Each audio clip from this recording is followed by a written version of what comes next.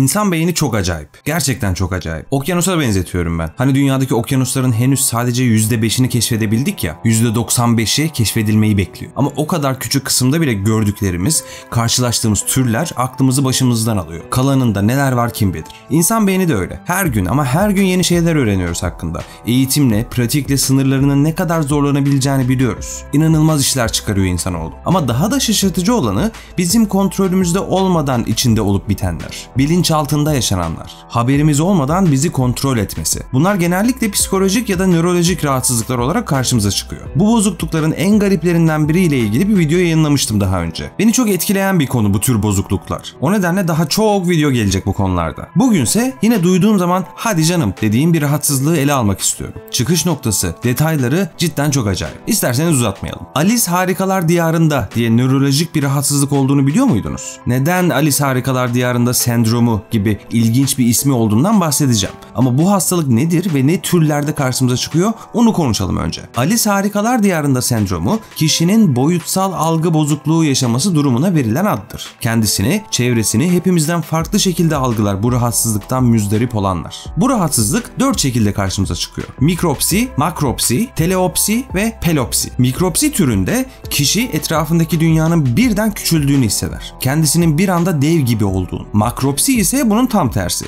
Etrafındaki dünyanın, nesnelerin, insanların devleşmesi, kendisinin ise çok ama çok küçüldüğünü hissetmesini ifade eder bu tür. Diğer iki türde ise uzaklık algısında bozukluklar söz konusudur. Teleopsi, nesnelerin, insanların olduklarından daha uzak, pelopsi ise daha yakın olarak algılanması şeklinde tanımlanabilir. Mikropsi ve makropsi, Alice Harikalar Diyarında sendromunun en sık görülen türleridir. Bu rahatsızlık tüm yaş gruplarını etkilese de çoğunlukla çocuklarda ve özellikle geceleri kendini gösteriyor. Çocukluğunda bu rahatsızlığı yaşamış ama büyüdükçe iyileştiğini söyleyenlerin sayısı oldukça fazla. Şimdi neden bu garip isme sahip olduğuna bir bakalım. Alice Harikalar Diyarında serisini çok kişi okumuştur. Okumadıysanız da mutlaka duymuşsunuzdur. Sendromun anlaşılması açısından konusunu kısaca özetlemek gerekirse hikaye Alice adında bir kız çocuğunun bir tavşanı izlerken tavşanın girdiği delikten içeriye düşmesiyle başlar. Tavşanın peşine takılan Alice bir anda kendini garip bir dünyada bulur. Küçük delik bir anda büyür ve Alice'i fantastik bir dünyanın içine çekiverir. İçtiği her şey onu küçücük yapmakta ya da dev gibi büyütmektedir. Kendi gözyaşlarından oluşan kocaman bir denizde boğulmaktan kurtulup komik bir çay partisine katılan Alice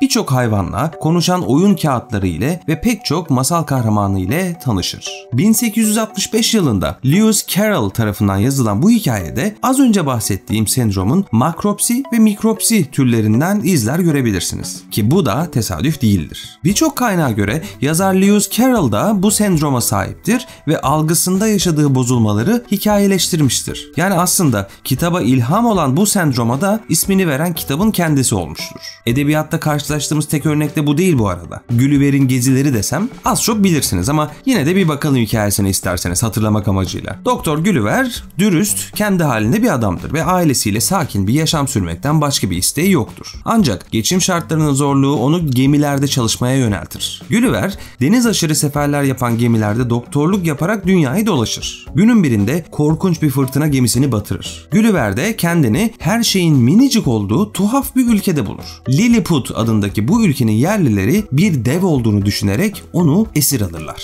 Sonunda kendini bir şekilde kurtarmayı başarır. Ama serinin ikinci kitabında ne oluyor peki? Gulliver başka bir adaya düşüyor. Burada da kendini devlerin arasında buluyor. Yine mikropsi ve makropsinin çok belirgin örneklerini görüyoruz bu hikayede. Kaldı ki Alice Harikalar Diyarında sendromunun bilinen diğer ismi de Lilliput halüsinasyonlarıdır. Ancak bunun bir halüsinasyon olmadığını da biliyoruz. Yapılan testlerde bu sendroma sahip bireylerin beyinlerinde çevresel algıları düzenleyen parietal lob kısmında yaşanan anormal aktivitelerin sonucu olduğu görülmüştür. Yani gözle ilgili ya da psikolojik bir rahatsızlık değil bu sendrom. Araştırmalarda ortaya çıkan çok ilginç bir bulgu da bu kişilerin ayrıca migren hastası olduğunu ortaya koymuştur. Başlarda migren rahatsızlığı olmasa bile daha sonra mutlaka migren rahatsızlığının geliştiği ortaya çıkmış. Yani bu sendrom aslında migren hastalığının bir habercisi şeklinde algılanıyor. Tek başına herhangi bir tehlikesi bulunmasa da belki de migren rahatsızlığı için birçok şey anlatıyor olabilir. Zira migrende de görme bozuklukları, baş dönmesi, kusma ve ciddi bir baş ağrısı gibi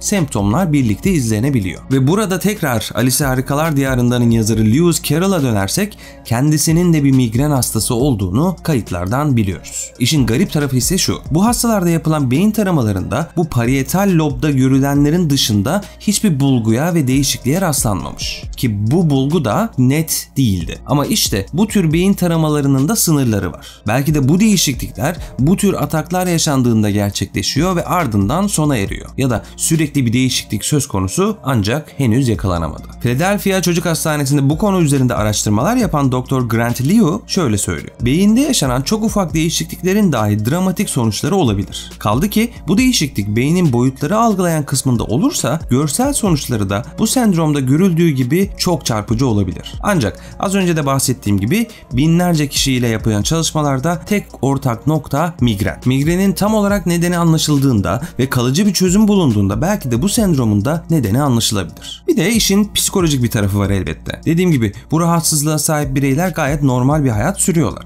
Ancak bu tür ataklar genellikle çocuklukta ortaya çıksa da yıllarca sürdüğünü söyleyen insanlar da mevcut. Fakat bu insanlar kendilerine akıl hastası teşhisi konmasından korktukları için bu konuda bir çözüm arayamadıklarını söylüyorlar. Rosenhan deneyi videomda da bu konuya değinmiştim. Şu anda daha iyi durumda olsa da insanların özellikle zihinsel rahatsızlıklarda bir uzmana başvurması için daha güvenilir bir sisteme ve toplumda da daha açık bir bakış açısına ihtiyacımız var. Okuduğum araştırmalara göre bu rahatsızlığın görülme oranı tahminlerin çok çok üstündeymiş. Belki aramızda birileri bir dönem bu rahatsızlığı yaşamıştır. Deneyimlerinizi yorumlarda paylaşırsanız çok sevinirim.